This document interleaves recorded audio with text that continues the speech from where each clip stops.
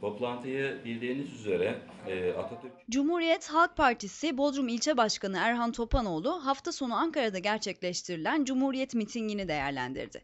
Atatürkçü Düşünce Derneği tarafından düzenlenen etkinliğe Bodrum'dan 5 otobüs ve 4 minibüs ile katıldıklarını belirten Topanoğlu, miting Cumhuriyet tarihinin en büyük mitinglerinden biriydi şeklinde konuştu. e, organize olmamış bir biçimde ama e, büyük bir gönüllülük çerçevesinde e, 1 milyonu insan, e, 1 milyonu aşkın insanımız e, Ankara'da Tandoğan Meydanı'nda toplandı.